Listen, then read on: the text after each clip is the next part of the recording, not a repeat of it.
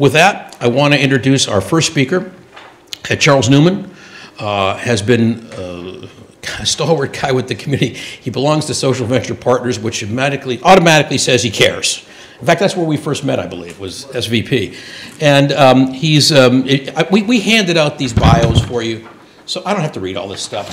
What- What's important is Charles is trying to do what I'm asking everybody in the room to do and to tell your friends to do. Get involved. Become a citizen advocate. Be willing to put the time in to help, as Charles has, as a resident on the Montecito Finance, Water and Supply, legal committees, he's, the the CEC that he's involved in. I see John Steed back there from the CEC. Let's get involved and let's listen to what Charles thinks we can do potentially to turn this lem, busy lemons into lemonade. Thank you, Charles.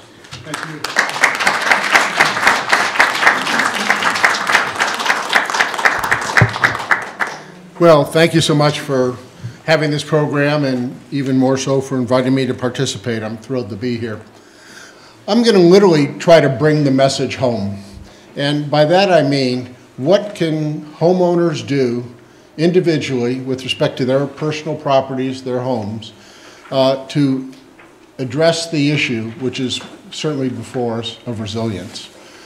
And the subtext of that is um, not just residential resilience, but going beyond like for like. And I'm going to explain what, what that phrase means in just a moment.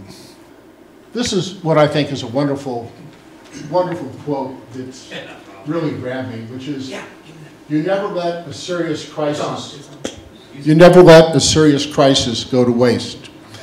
And what I mean by that, it's an opportunity to do things you think you could not do before. And that's from Rahm Emanuel. Great quote, I think something for us to keep in mind. Um, now, I'm going to speak tonight from the perspective of a planner, and I must say at the beginning, while I serve on the Montecito Planning Commission at Das's pleasure, I'm speaking tonight individually, just with my own thoughts, my own ideas. I'm, I'm just one of five on that, that commission. So let's start with planning and development, and as it's probably known by many of you, everybody has the right, generally speaking, to replace a seriously damaged or destroyed structure with a like structure. That's provided for in our code.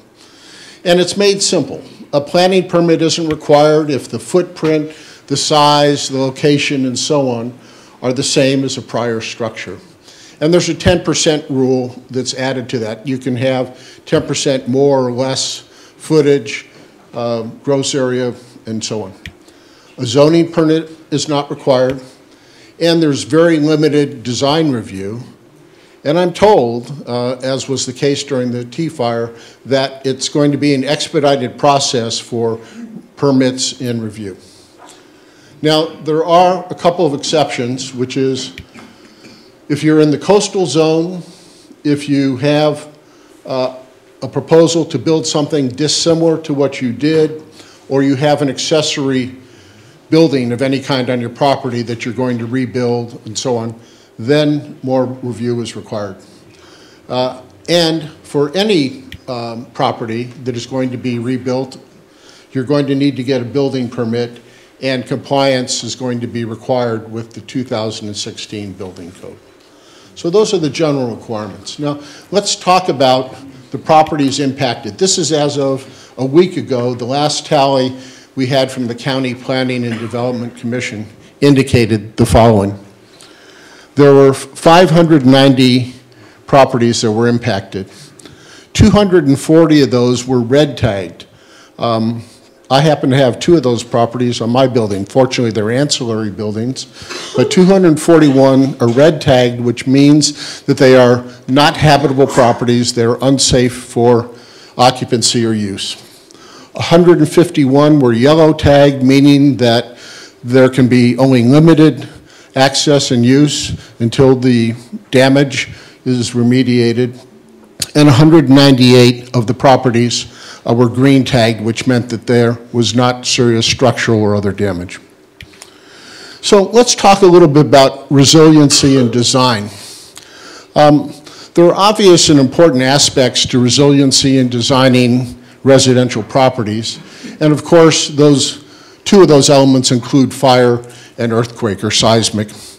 Those are really presently well addressed in the current code.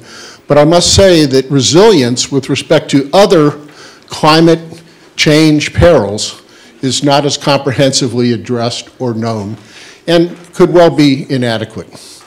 So let's talk about some of the things that we need to address in that context. Passive features in design, uh, be it, for instance, double glazed windows or the like, and resiliency that we're going to talk more about has a wonderful collateral benefit, which is greater sustainability. It means a greener home. It means less energy is used. It means a more viable property. But there's something new here. The equation and the calculus has changed because what happened here is really very different from anything that's happened before in our community, and there are very material differences between mud and de debris flow from other climate perils we've experienced, notably fire. So as an example, there's greater impact on infrastructure. As Das and everybody's alluded, we know what happened with respect to power, with respect to water, gas, and the like. There have been very dramatically radical changes in topography and landscape. I toured some properties uh, where the, for instance, creek bed that was 80 yards was now 200 yards wide, where the property adjacent to it wasn't only part of the creek bed now, but the creek bed was 30 or 40 feet lower than it had been. There are, of course, lasting changes to the direction and to the expanse of watercourses. And additionally, there are properties that have been partially or wholly just unbuildable, no question about it. There's greater difficulty uh, and a longer time incurred to remodel, to rebuild, uh, whether it's like for like or otherwise. And there's challenging policy and legal issues. As an example, what's the impact of having a property, as, as I do and maybe some of you do as well, that is now designated to be in the extreme hazard debris flow zone? Lucky me. What is that going to mean? It's going to have an impact, of course, as this incident did on real estate values, on real estate taxes and revenues to our county, and perhaps to the insurability of the property as well. Serious, lasting, ramifications. And very interestingly, there are complex and vexing intergovernmental relations here. As an example, FEMA is the basic authority with respect to flood control. And it is going to remap our area and designate new and different flood zones. FEMA is one authority. Of course, our county, Montecito being an unincorporated uh, non-governed entity other than by the county is going to play a key role in what happens in Montecito. And then, of course, we also have the state and the feds. So I just want to pose to you some kind of what ifs. I want us to imagine what's possible, what might happen, and throw out some provocative ideas that may not fly, but they're worthy of consideration, I think. So first, of course, we need to know and figure out what are going to be the minimum floodplain elevations. Can that house be rebuilt on the same level that it was? What if the Santa Barbara County had the funds available to it to purchase and compensate owners for those properties that are not buildable or not safely buildable? Imagine if flood control and planning for that was done not on a property by property basis, but on a neighborhood basis.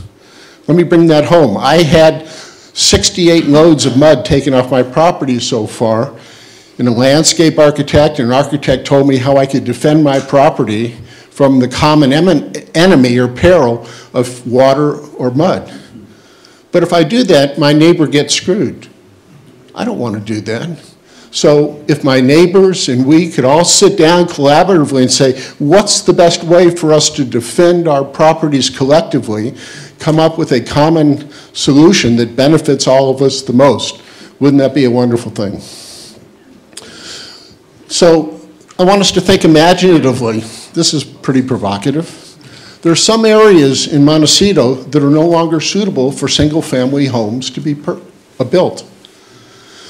What if instead we built two or three story multifamily condominiums, apartments even, in Montecito. I'd like to. Um, You heard it here. Um, How are we going to encourage people to do these things to their properties, to make them not what they were, but to make them better? Well, one idea that comes to mind is for us to obtain tax abatement for the resilient portion of a home rebuild or improvement. So, by example, if somebody's home is destroyed, it's going to cost, cost 2 million to rebuild it, 300,000 would make it a resilient building against climate change perils. Why not give tax abatement for 10 years or some period for the $300,000 portion of that? So, bottom line, there are some tools, there are some things, there creativity to be brought to it, but what it depends for to happen is some thinking out of the box, an extraordinary amount of cooperation and collaboration, and the will to turn our desires into a better future. I hope we can do that.